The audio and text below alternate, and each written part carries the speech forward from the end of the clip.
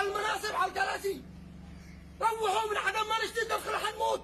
على خطى الحوثيين يستمر المجلس الانتقالي في خطوات تقويض مؤسسات الدولة دون إبداء أي مؤشر لتحمل مسؤولية نتائج سلوكه على الأرض.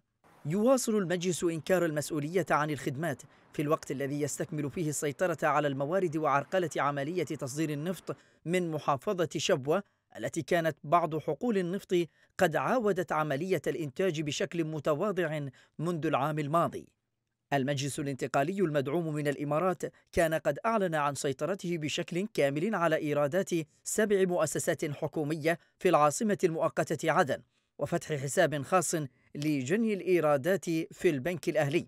وتتضمن الجهات الإيرادية المسيطر عليها أهم المؤسسات كمصلحة الضرائب وجمارك المعلى وجمارك المنطقة الحرة وضرائب كبار المكلفين وهيئة المواني وشركة النفط وشركة مصافي عدن.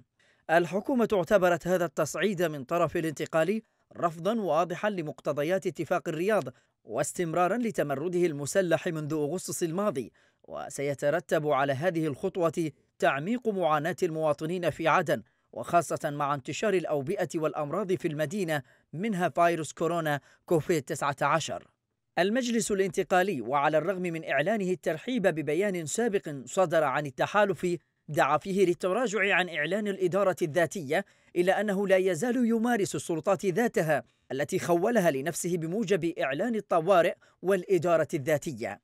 وبينما يتزايد السخط الشعبي وسط دعوات للتظاهر احتجاجا على تردي الخدمات في عدن تداول ناشطون على مواقع التواصل الاجتماعي وثيقة صادرة عن المجلس الانتقالي تمنع انتقاد المجلس في وسائل التواصل الاجتماعي أو حتى وسائل النقل العام.